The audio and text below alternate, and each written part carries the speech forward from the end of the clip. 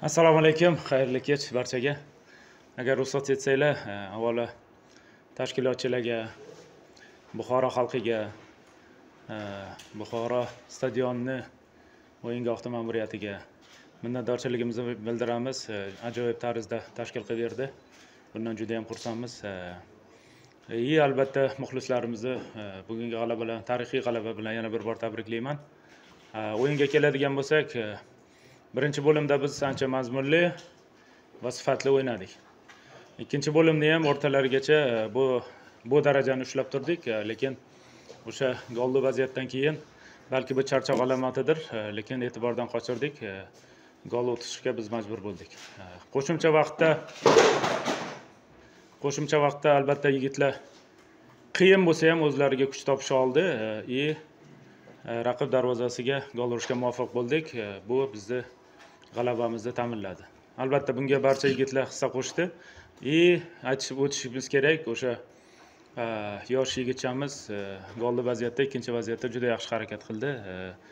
O'sha to'pni oshirib berishga ancha mahoratli harakat qildi. Buni evaziga biz bugun man o'ylaymanki barchani xursand qilgan g'alabaga erishdik.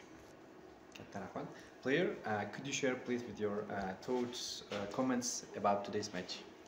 Assalomu alaykum Uh, today it was amazing, amazing.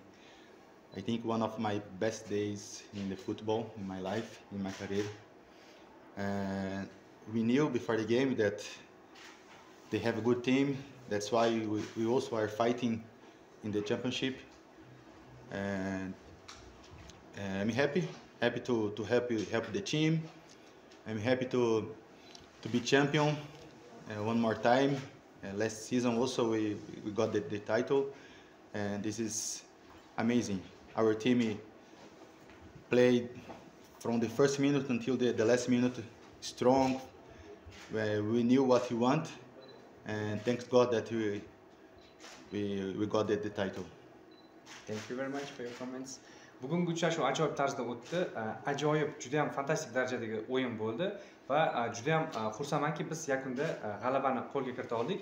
Men uchun bugungi uchrashuv hayotimdagi umuman futbolchilik faoliyatimdagi eng baxtli kunlarimdan biri. Chunki bunday sovrinni qo'lga kiritish albatta juda yam katta faxr beradi. Biz o'zi o'yindan oldin ham shuni ta'kidlab o'tgan edik. O'yinni oxirigacha bor mahoratimizni ishga solamiz deb. Va e, mana birinchi daqiqadan boshlab e, butun jamoamiz e, birlashgan holda yakdil holda hamma birgalikda harakat qilishga intilishdi maydonda va o'yinni oxirigacha shu tempni saqlab qolishga harakat qildik. Nasaf demak o'tgan yili ham ushbu sovrinni qo'lga kiritgan ekan. O'zi umuman kubok bahslarida umuman sovrinni qo'lga kiritish juda yam kishiga juda yam yoqimli his beradi. Shu sababli yakunda g'alaba qozonganimizdan ham juda yam mamnunman deb ta'kidlab o'tdilar. Marhamat ana endi savollarga o'tsak bo'ladi rozqul aka avvalo bugungi g'alaba bilan tabriklaymiz savolim shundan iboratki nasaf birinchi taymni yaxshi o'tkazgan bo'lsa ikkinchi taymda navbahor biroz kuchliroqdek ko'rindi. Va gol urdi yaxshi kayfiyatda ekstra taymlarga navbahor chiqardi lekin ekstra taymlarda navbahordan ko'ra nasaf o'yin borasida o'zgarishlarga qo'l urdi bu g'alabani asosiy omili ekstra taymlardagi ustunlikni faqat e, nasafdagi jismoniy tayyorgarlikmi yoki boshqa sababi ham bormi? Avvalo tabrik uchun rahmat e, boya aytib o'tdim. Haqiqatda birinchi e, bo'limda biz ancha sifatli o'ynadik. Ikkinchi bo'limda balki bu o'sha ruhiy tayyorgarlik bilan bog'liqdir. Hisobni yana ushlab qolishga harakat qilyapmiz. Buni evaziga biz yana gol o'tkazdik. Bir necha o'yinimizda bu narsa takrorlangan edi. Buni yigitlarga ham uqtirgandik. Bu darajaga tushish kerak emas chunki o'yinni davom ettirish kerak. Albatta ekstra taymlarga o'tganda asosiy bilasizlar jismoniy tayyorgarlik birinchi o'ringa chiqadi.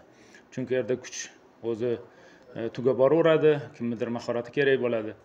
Biz e, aytishimiz kerakki o'sha ikkita o'zgarish qilganimiz e, bizga ozgina tezlik qo'shdi. Bu nasrullayevni chiqarganimiz qanotda и dilshod saitovni o'rniga zafar murodovni chiqarganimiz bu o'sha qaysidir ma'noda siz ham aytib o'tdingiz o'sha ustunlikni berdi. И o'sha golli vaziyatda ham bularni e, o'sha e, e, yordami bo'ldi vaziyatga. Man o'ylaymanki o'sha o'zgarishlar o'z samarasini berdi bugungi o'yinda. Asosiy sabab omil shu bo'ldi deb o'ylayman. Katta rahmat. Marhamat navbatdagi savol? Assalomu alaykum. Alaykum assalom. sizni ko'rganmiz o'sha avvalgi finallarda ham shu oq rangdagi bosh kiyimda tushgansiz bu ham bir qandaydir omilimi g'alabangizni yoki umuman qandaydir irimi bormi yo'q hech qanaqa irimga e, anaqa qilmaymanu e, o'zi e, birinchi kubokni qo'lga kiritganimizda ham oqshobkada edik o'shandan beri ko'pchiliklar buni ham ta'kidlaydi o'sha omadli kiyib deb o'sha uchun omadimiz kelyapti. Man o'ylaymanki shapkani hech qanaqa daxli yo'qdiru lekin o'zimizni qulay his qilamiz. O'sha uchun man o'ylaymanki buni bugungi g'alabaga hech bir daxli joyi yo'qdir deb o'ylayman. Rahmat. Navbatdagi savol keyin Qo'zg'olon aka ketma ket ikkinchi g'alaba bilan o'sha kubokda ketma ket ikkinchi g'alaba bilan tabriklaymiz keyin samarqandda bugun holatda jamoangiz g'alaba qozondi superliga davomida o'sha siz taklif etgan hujumchi braziliyalik e, lima uncha o'zini oqlamayotgani haqida yoki bor matbuot anjumanlarida gapirgansiz. Bungi finaldagi g'alabadan keyin aynan joriy transferning amalga oshishi sizni klub uchun muvaffaqiyatli bo'ldi deb ayta olasizmi? Albatta bugungi g'alabaga asosiy hissani shu qo'shdi o'sha uchun e, man o'ylaymanki bu to'liq o'zini oqladi. O'tgan yili e, bilasizlar e, kalidero kaliderovichni taklif qilganimizda unda ham shunaqa savollar tug'ilgan edi. Lekin man eslaringda bo'lsa bir gapni aytgan edim. Undan biz yigirmata gol urishni kutmaymiz faqat kerakli gollarni ursa bo'ldi deb. Eslaringda bo'lsa o'sha polufinalda muhim o'yinni urib uch ikki yutib ketganmiz finalga chiqqanimiz. Bugun mana o'sha asosiy muhim o'yinda решающий o'yinda lima gol urib jamoamizga foyda keltiryapti. Bu albatta quvonarli lekin lima birinchi kelganda o'zi ham aytgan edi o'sha jismoniy holati bizani futbolni tushunishi bizani talabimizni tushunishi ancha vaqt kerak edi. O'sha jismoniy holatini ham to'g'irladik e, biz talab qilgan narsani o'zi ham tushunishni boshladi va jamoamizga oxirgi o'yinlarda katta yordami tegyapti. Buni o'zlaring ham ko'ryapsizlar. Aka nasafni qaysi tomonga liverpulga o'xshatish mumkin? Masalan liverpul yevropada chempionlar ligasini yutib yurardi kuboklar oladi lekin chempionatda doim xohlardi. Va nasaf ham chempionatga kelganda doim nimadir bo'ladi va hozir sizda eng yaxshi vaziyat desak bo'ladi chunki kubokni yutdingiz hech qanaqa bosim yo'q ko'tarinkilik qolgan o'yinlarda hech qancha o'yin qolmadi va bu nasafning eng yaxshi imkoniyati desak bo'ladi chempionlik uchun. Bizni eng oliy maqsadimiz bugungi kubok o'yinidan oldin ham aytgan edim kubok uchun ham harakat qilamiz deb. Lekin asosiy maqsadimiz chempionatni biz kutgandek yakunlash. Chunki muxlislarimiz ham o'zimiz ham buni juda yam xohlayapmiz kutyapmiz. E, o'sha uchun har bir o'yinga biza oxirgi o'yinda finalda chiqishimiz kerak bo'ladi. O'sha uchun e, biz hozir bu haqida razvalkada yigitlar bilan gaplashdik. E, Dinamo bilan o'yinga tayyorgarligimizni hozirdan boshlashimiz kerak bo'ladi. Rahmat navbatdagi savol assalomu alaykum buxoro muxlislari nomidan buxoro bugungi bilan sizni tabriklaman rahmat.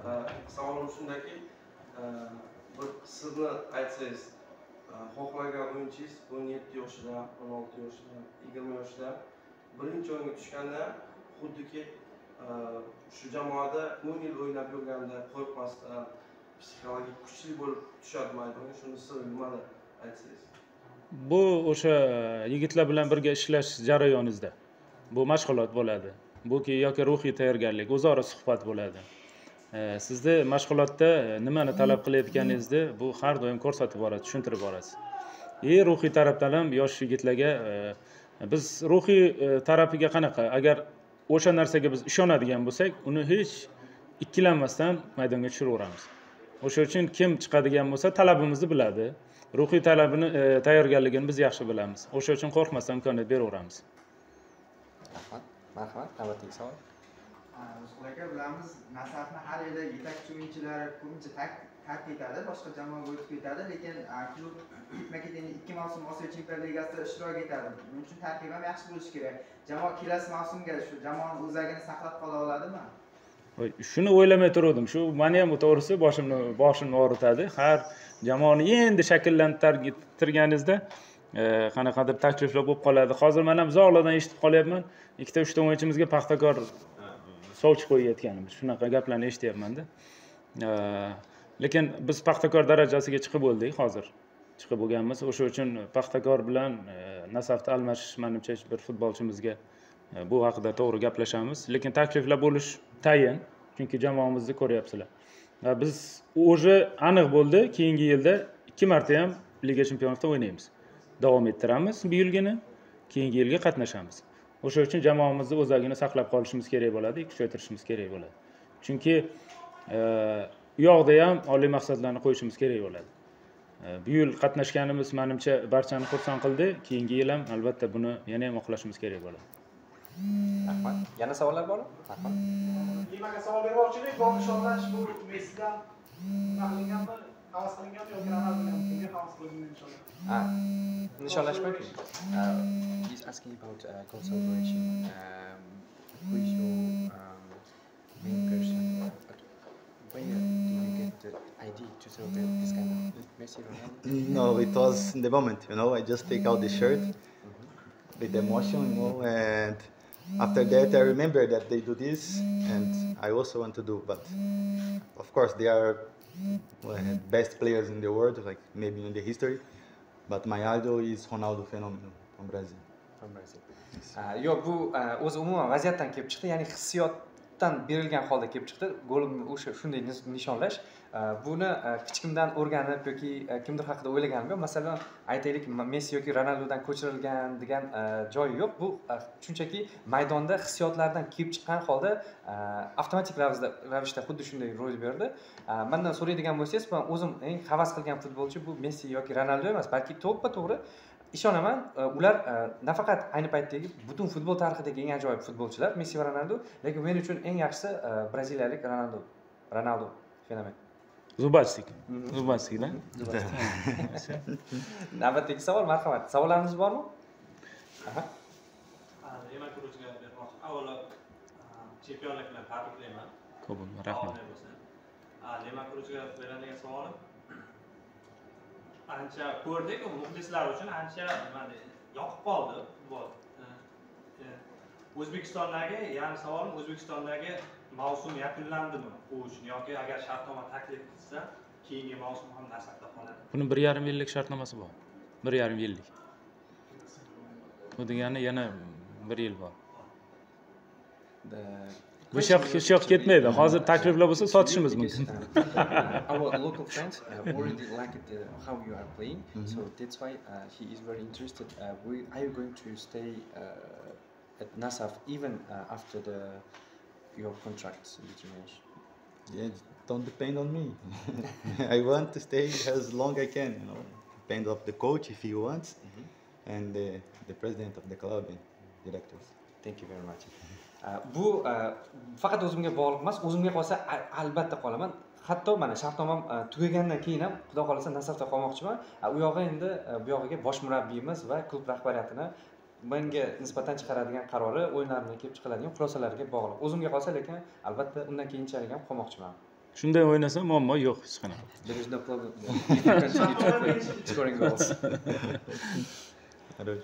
rahmat. Boshqa savollar bo'lmasa yakunlaymiz. Ishtirok uchun kattakon rahmat. Sizlarga rahmat. Charchamaylik